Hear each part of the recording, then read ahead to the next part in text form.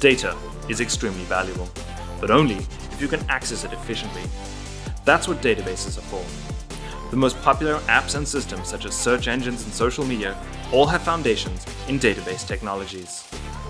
This Database Fundamentals short course explores the underlying fundamentals of the most popular database systems, namely relational and NoSQL databases.